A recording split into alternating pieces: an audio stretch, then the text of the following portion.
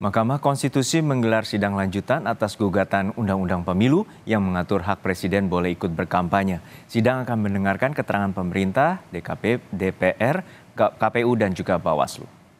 Sidang dijadwalkan berlangsung pukul setengah sebelas siang di ruang sidang panel 1 Mahkamah Konstitusi. Sebelumnya, gugatan yang dilaporkan tim advokasi peduli pemilu telah dua kali menjalani sidang sejak diajukan 27 November 2023. Salah satu gugatannya menguji pasal 299 Undang-Undang Pemilu yang menyebutkan Presiden diperbolehkan kampanye selama tidak menggunakan fasilitas negara. Lebih lengkap terkait jalannya sidang gugatan Undang-Undang Pemilu kita tanyakan langsung pada jurnalis Kompas TV Tifal Solesa di gedung MK.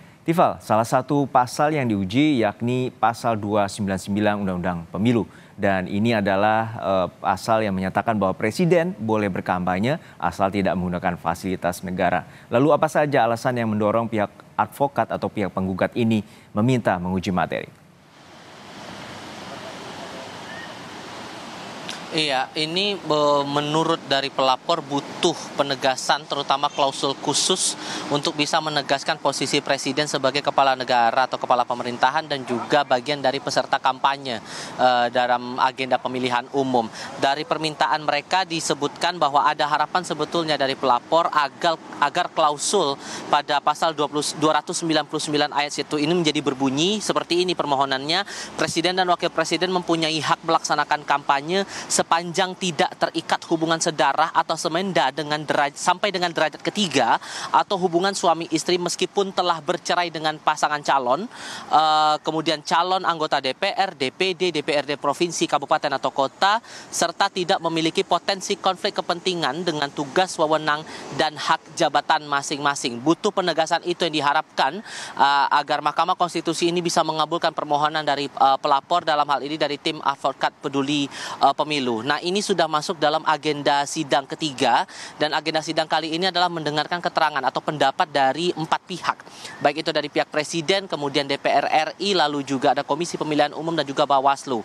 Dari empat pihak yang dimintai keterangannya untuk hari ini yang terkonfirmasi sudah ada tiga pihak yang datang ke ruang sidang uh, pleno Mahkamah Konstitusi Republik Indonesia di Jakarta Pusat, yakni dari Presiden diwakili oleh kuasa hukum uh, dari dua lembaga kementerian, yakni Kementerian Hukum dan dan HAM serta Kementerian Dalam Negeri. Tadi sudah menyampaikan pendapatnya begitu uh, di hadapan Majelis Hakim uh, Konstitusi dan mereka meminta agar uh, seluruh permohonan dari pemohon ini tidak ditindaklanjuti dengan alasan sudah uh, seluruh pasal-pasal yang digugat oleh uh, pihak pemohon ini tidak bertentangan dengan Undang-Undang Dasar 1945 dan tetap sah uh, dan berkekuatan hukum mengikat. Itu alasannya. Kemudian juga untuk dari KPU sampai dengan saat ini masih menyampaikan pendapatnya di hadapan Majelis Hakim uh, Konstitusi yang tadi dipimpin langsung oleh Komisioner KPU atau juga koordinator dari Divisi Hukum KPU Muhammad Afifuddin.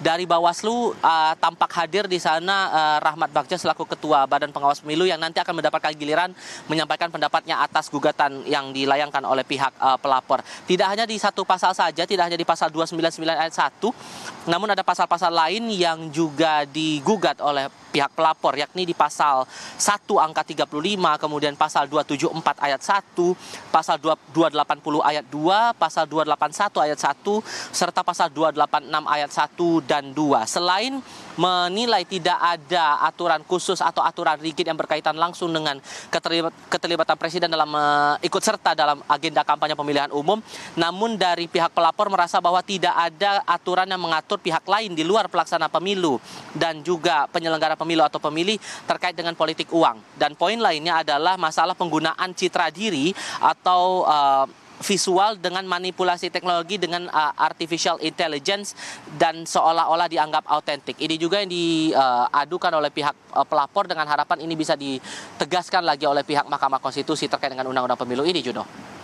Ya, Tifal, untuk saat ini uh, siapa yang mewakili uh, Presiden? Karena MK juga memanggil dan meminta keterangan terhadap Presiden terkait dengan pasal 299 yang diujikan atau digugat oleh pihak advokat. Lalu dan dengan adanya putusan nanti atau putusan sidang, lalu apa dampaknya terhadap tahapan pemilu? Kalau merujuk pada tahapan pemilu sekarang, kita paham bahwa minggu ini menjadi minggu terakhir masa kampanye pemilu serentak 2024. Batas terakhirnya pada tanggal 10 Februari nanti akan menjadi hari terakhir pelaksanaan kampanye. Setelah itu akan masuk masa tenang dari tanggal 11 hingga 13 Februari. Sehingga uh, kemungkinannya ini tidak akan berdampak signifikan untuk periode pelaksanaan pemilu serentak untuk saat ini. Ditambah lagi proses dari pengujian di MK juga masih tetap berjalan. Kita paham bahwa untuk persidangan saat ini sudah masuk sidang ketiga dan pelaksanaan sidang pertama dan kedua selang waktunya terbilang cukup panjang dalam waktu satu bulan.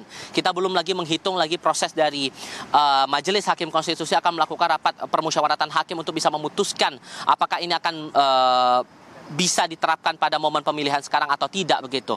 Tapi kalau kita juga merujuk dari uh, penyampaian yang disampaikan oleh perwakilan presiden dalam hal ini dari kuasa hukum dua lembaga yakni Kementerian Dalam Negeri dan juga Kementerian Hukum dan HAM yang tadi disampaikan langsung oleh pelaksana uh, harian Dirjen uh, Politik dan PUM Kemendagri Togap Simangunsong, ia menyampaikan bahwa sebetulnya dalam gugatan-gugatan yang dilayangkan oleh uh, pihak pelapor ini uh, dianggap beberapa poin ini sudah uh, cukup tegas dan sudah cukup rigid begitu. Ada beberapa dalil yang kemudian disampaikan atau keterangan pendapat yang disampaikan uh, oleh Togap Simangunsong mewakili Presiden Republik Indonesia yang berhubungan langsung dengan pasal-pasal yang digugat ini.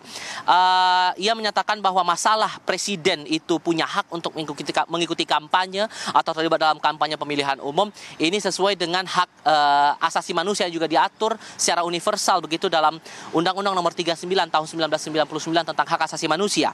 Kemudian dalam dalil ataupun juga pendapatnya uh, Togap menyampaikan bahwa sebetulnya ada beberapa contoh negara yang uh, menunjukkan bahwa presiden punya hak atau bisa ikut berkampanye dalam agenda pemilihan umum terutama spesifiknya lagi adalah pemilihan presiden seperti di Amerika Serikat dan juga uh, Prancis sehingga dengan dasar-dasar itu tadi sebetulnya dari pendapat uh, pemerintah mewakili Presiden Republik Indonesia dianggap bahwa presiden juga punya hak yang sama untuk melakukan uh, kampanye seperti yang sudah tertuang saat ini dalam Undang-Undang Nomor 7 tahun 2017 spesifiknya lagi dalam uh, pasal 299 yang mengatur bahwa presiden punya hak untuk mengikuti uh, kampanye selama itu tidak menggunakan fasilitas negara yang juga sudah tertuang dalam aturan-aturan terkait. Dan ia juga menekankan bahwa beda sebetulnya antara peserta pemilu dengan peserta kampanye sehingga ini yang perlu dipertegas lagi ataupun juga yang sudah di, uh, dijelaskan bahwa sebetulnya masalah siapa yang berhak melakukan kampanye dan batasan-batasan apa saja dianggap oleh pemerintah ini sudah tertuang dan sudah termaktub dalam undang-undang yang berlaku saat ini. Undang-Undang Nomor 7 Tahun 2017 tentang Pemilihan Umum. Jodoh. Baik, pasal ini tengah disorot terkait dengan eh, kampanye dari pihak presiden dan juga ini pengujian terkait dengan adanya pasal 299 Undang-Undang Pemilu terkait dengan kampanye yang digugat uh, tidak adanya hubungan darah untuk berkampanye baik dari pemerintah pusat hingga pemerintah daerah di level kabupaten hingga kota. Terima kasih uh, rekan Tifal Solesa dari Gedung MK Jakarta.